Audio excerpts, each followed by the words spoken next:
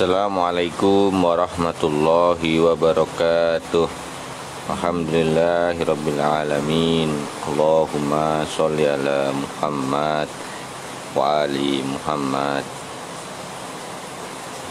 Kita memasuki episode ketujuh tirakat dakwah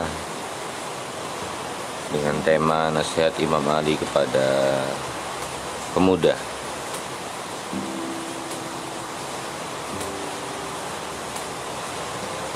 Dalam episode ini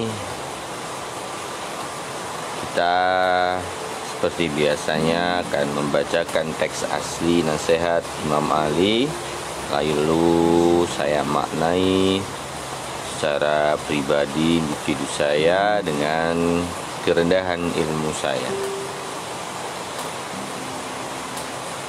Teks asli nasihat untuk episode hari ini sebagai berikut Jadilah seorang dermawan tetapi jangan menjadi pemboros. Jadilah seorang yang hidup sederhana tetapi jangan menjadi seorang kikir. Saya ulangi, jadilah seorang dermawan tetapi jangan menjadi pemboros. Jadilah seorang yang hidup sederhana tetapi jangan menjadi seorang kikir. Nasihat Imam Ali ini tentang bagaimana kita mengelola harta. Imam Ali menasehati kita untuk menjadi orang yang tengah tidak berlebihan di satu sisi tidak berlebihan di satu sisi lainnya. Dalam hal mengeluarkan uang, kalau kita berlebihan maka kita disebut boros. Namun boros itu belum tentu bermanfaat. Maka Imam Ali menasihati kita untuk menjadi seorang yang dermawan mengeluarkan uang tidak berlebihan karena kalau berlebihan namanya boros namun juga tidak pelit namanya kikir kalau pelit.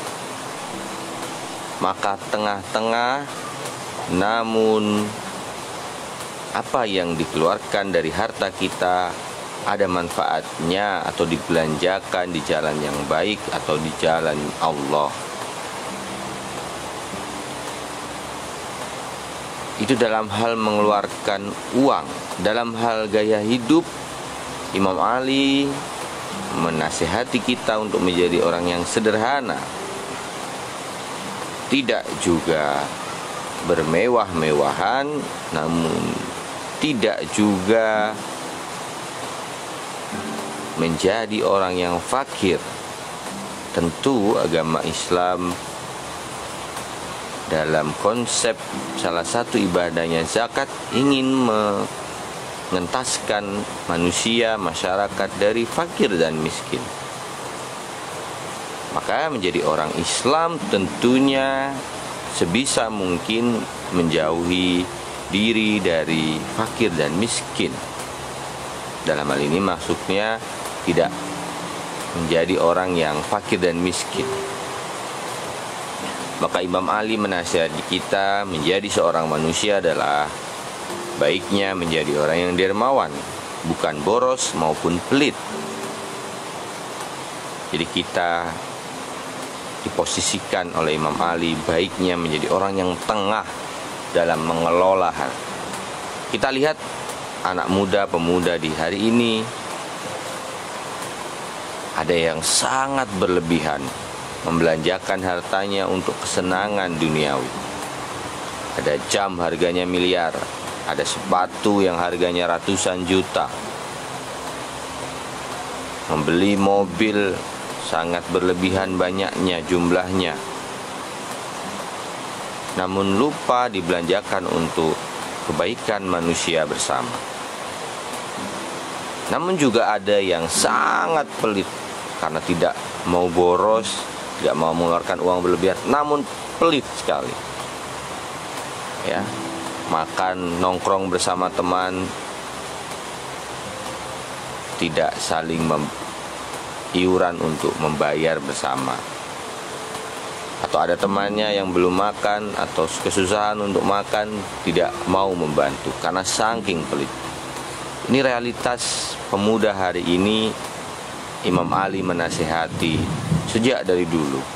Mudah-mudahan kita sebagai pemuda mampu mengambil pesan dari nasihat ini. Kurang lebihnya mohon maaf. Alhamdulillahirrabbilalamin Allahumma sholli ala Muhammad wa ali Muhammad. Assalamualaikum warahmatullahi wabarakatuh